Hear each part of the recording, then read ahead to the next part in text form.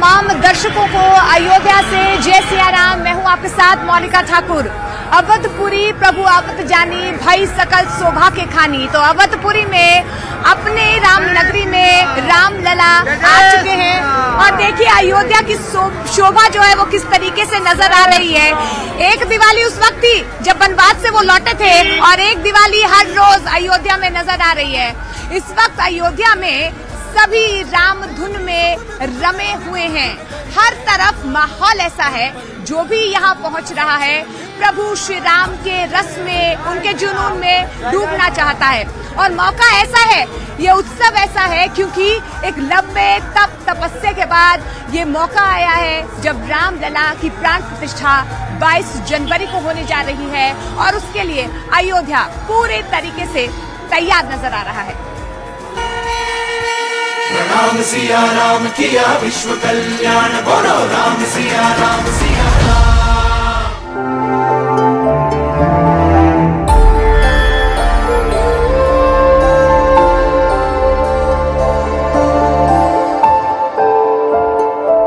काम कोटि छवि श्याम शरीरा नील कंज बारिद गंभीरा।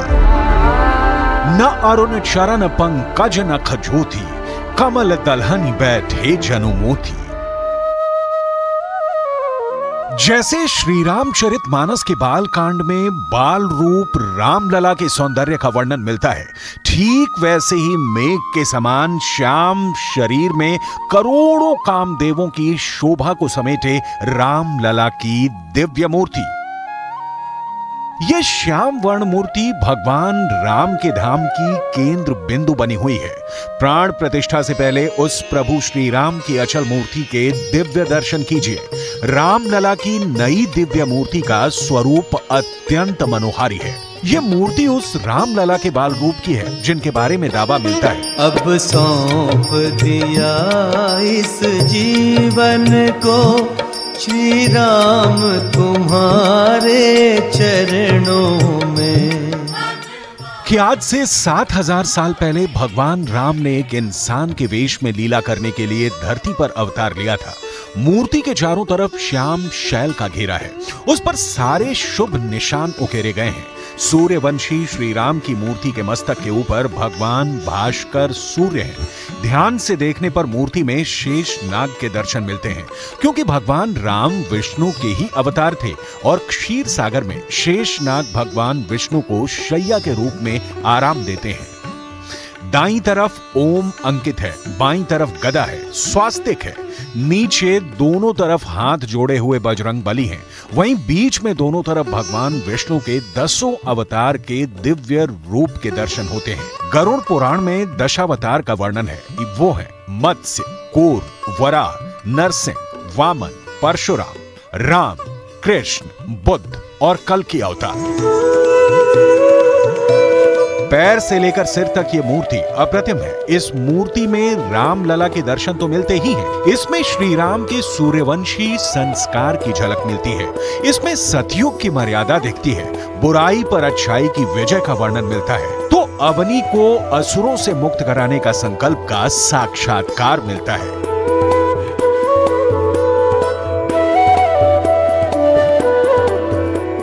रामलला के चार से पाँच साल के बाल रूप की मूर्ति गढ़ी गई है। मूर्ति की ऊंचाई इक्यावन इंच है। कमल दल पर रामलला के चरण विराजमान है। कमल दल के नीचे 20 इंच ऊँचा पेडस्टल है। श्रेष्ठ सप्तपुरियों में शामिल आदि नगरी अयोध्या के बिना सनातन सभ्यता का हर अध्याय अधूरा है। इसी अयोध्या में नया इतिहास अध्याय लिखा जा रहा है। सनातन के स्वर्णिम काल का अध्याय, अयोध्या के नव निर्माण का अध्याय, दिव्य, भव्य, नव्य श्री राम धाम का अध्याय और इसी राम के धाम में श्री राम की नई मूर्ति के प्राण प्रतिष्ठा का अध्याय। रामलला की ये दिव्य मूर्ति गर्भगृह में स्थापित हो गई है। उस मंदिर के गर्भगृह में जो राम की जन्मभूमि पर भव्य आकार ले चुका है। किसी भी मंदिर में मूर्ति पूजन प्रारंभ होने से पहले उसमें प्राण प्रतिष्ठा का विधान है। इस विधान के पीछे सिर्फ़ परंपरा नहीं, अध्यात्म के साथ विज्ञान का तत्व दर्शन समाया हुआ है।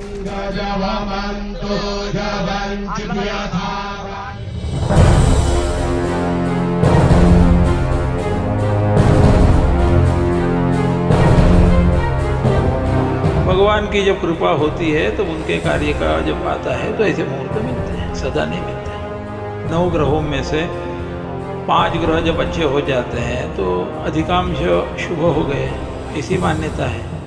अब यहाँ पर छह ग्रह मिल रहे हैं, अर्थात दो तिहाई सब शुभ ही कार्य होने का है, तदनुसार मुहूर्त दिया गया। प्राण प्रतिष्ठा में जितने भी हमारे यहाँ देवता हैं नवग्रह हैं और जितनी राशियाँ हैं, सभी को शांति करने के लिए पूजा अर्चना होता है।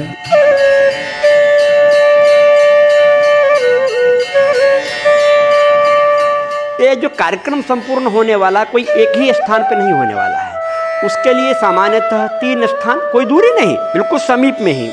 सबसे प्रथम, गर्भगृह। दूसरा जो है यज्ञ मंडप तीसरा जो है यज्ञ मंडप का प्रांगण। तो क्रम वहाँ से प्रारंभ होगा कि बाहर प्रायश्चित, उसके बाद पंचांग आदि पूजन वर्ण आदि होने के पश्चात मंडप प्रवेश। प्राण प्रतिष्ठा के साथ सनातन संस्कृति की मान्यता जुड़ी हुई है। मान्यता ये कि पूजा किसी मूर्ति की नहीं होती, उस दिव्य सत्ता की होती है जो अजर है, अमर है, अविनाशी है, अंतर्यामी है, जो अवधपुरी के स्वामी है। 19 जनवरी 2024 अरणीय मंथन से अग्नि स्थापन 20 जनवरी 2024 गर्भगृह की वास्तु शांति, वास्तु वेदी की स्थापना।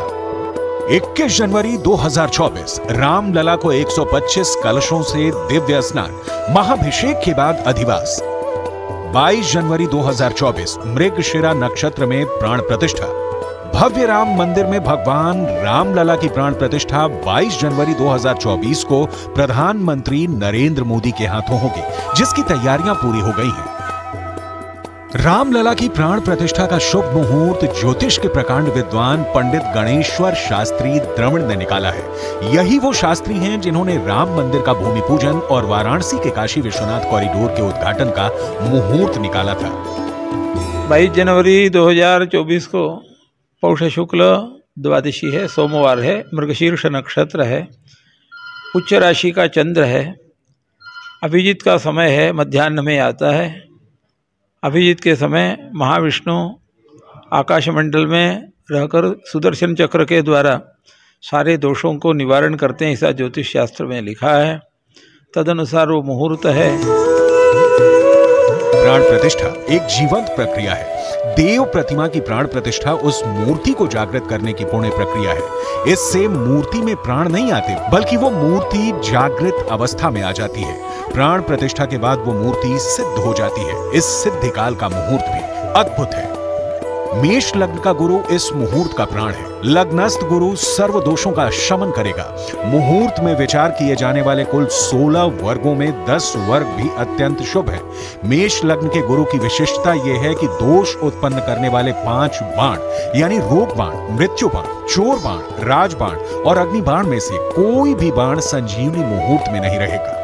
मुहूर्त के दौरान नौ ग्रहों में से छह ग्रह मित्र के रूप में अपने घरों में रहेंगे। मुहूर्त में गुरु मित्र ग्रही होकर नवांश में उच्च का रहेगा। अन्य ग्रहों के राहु केतु के चारों तरफ़ ना होकर सिर्फ़ दो तरफ़ होने से काल सर्प दोष की स्थिति भी नहीं रहेगी। सूर्य के मकर राशि में होने से पौष मास का दोष भी नहीं रहेगा। सूर्य के अभिजीत में होने से मृगा शीर्ष नक्षत्र भी शुभ फलदायी होगा। बाईस जनवरी को दोपहर के समय, प्रतिष्ठा के समय मेष लग्न है। मेष लग्न में गुरु है। उस गुरु की दृष्टि पाँचवें, सातवें और नौवें स्थान पर है। पाँचवें स्थान पर हो पड़े, गुरु की दृष्टि होने से सबके सद्विचार होंगे, जो भगवान की सेवा करेंगे और मन में मन की प्रवृत्ति भी अच्छी रहेगी सातवें स्थान में दृष्टि पर दृष्टि होने से। और नौवें स्थान पर दृष्टि होने से धार्मिक कार्य होगा उपासना अच्छी होगी और भाग्योदय होगा उन्नति होगी।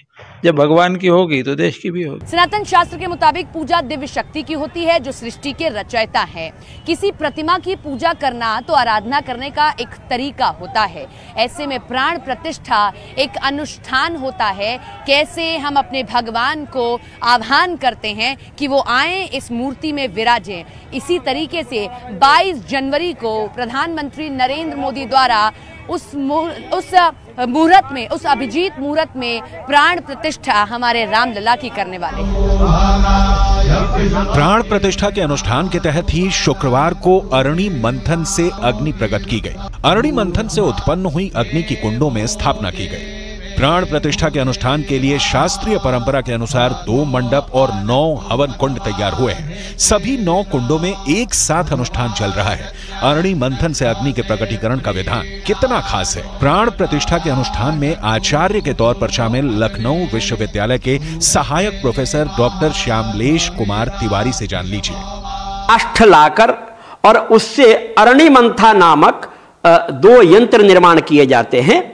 और उन यंत्र में इसके घर्षण मंत्रों के द्वारा, आवाहन करके, घर्षण के द्वारा जो अग्नि निकलती है, उस अग्नि का स्थापन जो है, उस कुंड में करके, वहाँ पर जो आवाहित जितने देवी देवता वेदियों पर है, उनका हवन क्रिया वहाँ पर प्रारंभ होगी।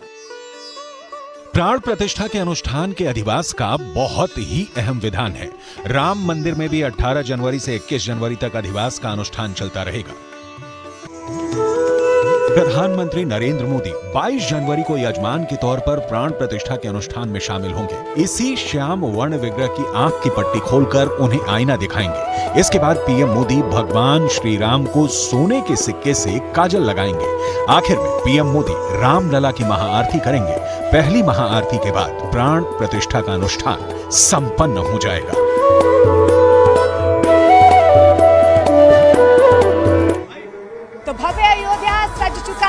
दिव्य रामलला के दर्शन के लिए हर कोई बेताब है। कश्मीर से लेकर कन्याकुमारी तक हर कोई चाहता है कि वो भव्य राम मंदिर के दर्शन करे। अब तक सत्तावन देश जो हैं, इसकी तैयारी भी कर चुके हैं कि कब 22 तारीख है प्राण प्रतिष्ठा हो और वो आपके और हमारे रामलला के दर्शन कर पाए।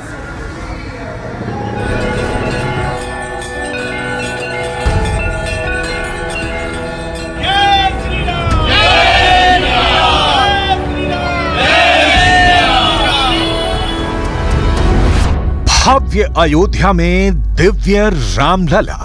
मेरे राम लला जी आओ बैठो अपने भवन माँ मेरे राम लला जी आओ बैठो आ रहे हैं रामलला। हो गई है भव्य तैयारी।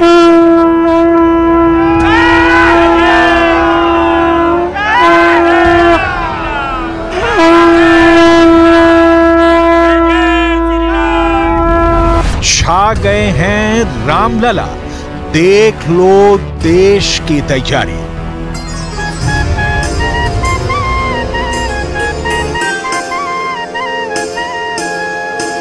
कश्मीर से कन्याकुमारी तक। राम राम राम राम।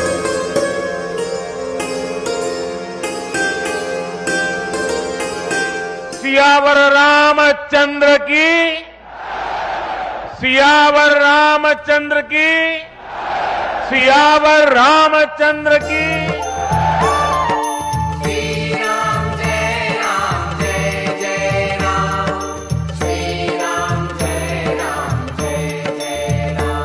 मुझे अयोध्या आए हुए अभी कुछ ही दिन हुए हैं, लेकिन इतने ही दिनों में मुझे एहसास हो गया है कि मैं अपने करियर का या कहें ज़िंदगी का सबसे बड़ा उत्सव कवर कर रहा हूँ। रामलला की प्राण प्रतिष्ठा से पहले ही देश ही नहीं, पूरी दुनिया में राम नाम की गूंज हो रही है। मैं हैरान हूँ और मैं बहुत खुश भी हूँ कि अब अयोध्या में राम राज के दर्शन होने लगे हैं। भव्य अयोध्या में दिव्य रामलला।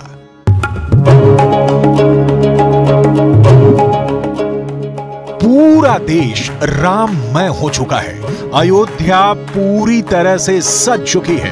राम मंदिर का कोना कोना फूलों से सजाया जा रहा है। जरा राम मंदिर के गुंबद को देखिए, जिसे थाईलैंड से लाए गए फूलों से सजाया गया है। आपको न्यूज़ एटीन इंडिया पर सबसे पहले तस्वीर दिखाने जा रहे हैं। जब गुंबद ऊपर सजा है कितना खूबसूरत लग रहा है। जरा देखिए आप। किशन मेरे कैमरा पर्सन दिखाएँगे। देखिए कितना खूबसूरत लग रहा है ये मंदिर जो ऊपर से सज गया है फूलों से सजाया गया है। ऊपर तक देखिए किस तरीके से आ, रंग भरे जा रहे हैं और ये जो फूल आप देख रहे हैं ये थाईलैंड से लाए गए हैं। उसके सामने आप परकोटा देख रहे हैं और ये देखिए किस तरीके से थाईलैंड से लाए हुए सिंह द्वार पर फूल सजाए जा रहे हैं। ऊपर का जो गुंबद है वो भी पूरी तरीके से रंग दिया गया है और देखिए वीवीआईपीज के लिए भी यहाँ पर नीचे टेंट लगा दिए गए हैं और ये मुख्य द्वार है। ये सिंह द्वार है जो तस्वीरें आप देख रहे हैं। न्यूज़ एटीन इंडिया पर सबसे पहले एक्सक्लूसिवली ये तस्वीरें हम आपको दिखा रहे हैं जहाँ आप देख रहे हैं किस तरीके से ये पूरा गुंबद बनाकर तैयार कर दिया गया है। देश भर hey, पल पल में युग युग में हर क्षण मेरा हर